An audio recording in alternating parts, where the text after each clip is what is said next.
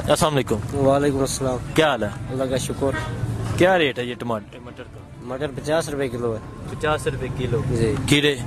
खीरे साठ रुपए किलो। खीरे साठ गाजर? तीस रुपए किलो। मूली? बीस रुपए किलो।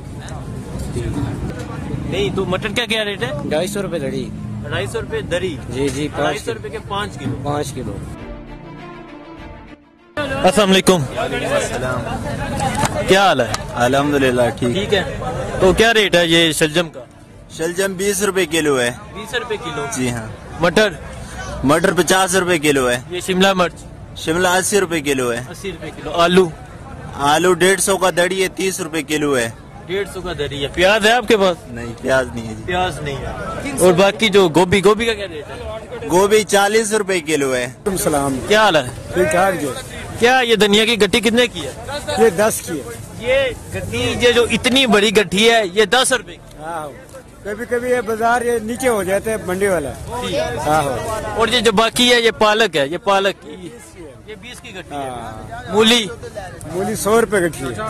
सौ रुपए की गट्टी। कित, कितने किलो होती है? इसमें पाँच किलो होते हैं। अच्छा सौ रुपए की गट्टी में पाँच किलो होती है मैं बीस रुपए किलो। बीस किलो क्या रेट है टमाटर का? टमाटर तो आज चल रहे दो सौ एक सौ अस्सी दो सौ रुपये दड़ी दरी? दड़ी मतलब एक सौ अस्सी रुपए दरी तो वो तो दो सौ रुपये दड़ी हो तो चालीस रुपये किलो चालीस रुपए किलो तो माल्टा पचास रुपए दर्जन। जी जी। ठीक ताज़ा माल? ताज़ा माल। ताज़ा माल। ठीक अच्छा माल्टा तो क्या लगता है ये महँगा माल्टा मिल रहा है या सस्ता है? बस गुजारे वाले अभी शार्ट है माल्टा। अच्छा अभी माल्टा शार्ट है फिर भी पचास रूपए दर्जन है। जी जी तो अगर माल्टा मिल रहा हो अगर